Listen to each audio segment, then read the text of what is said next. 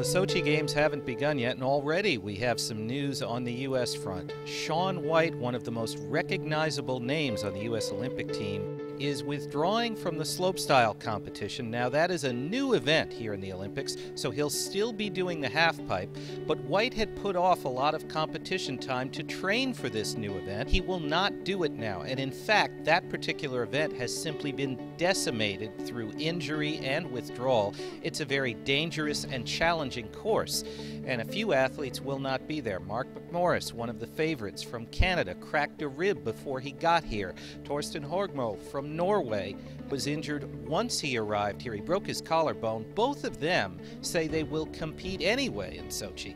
So Shaun White still has a chance to three-peat in his signature event, the halfpipe, but his chances of doubling here in Sochi have ended before the games have even begun.